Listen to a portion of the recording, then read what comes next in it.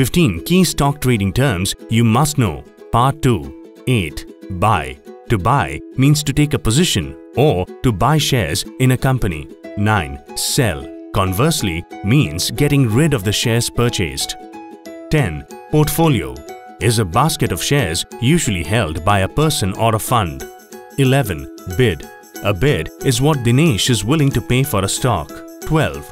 Ask. Ask, on the other hand, is what people selling stocks are looking to get for their shares. 13. Limit order. When placing a limit order to buy, Dinesh can set the exact price he is willing to pay for the stock. 14. Market order. It is an order that an investor makes through a broker or brokerage service to buy or sell an investment immediately at the best available current price. It is also referred to as an unrestricted order. 15. Day trading is speculation in securities, specifically buying and selling financial instruments within the same trading day.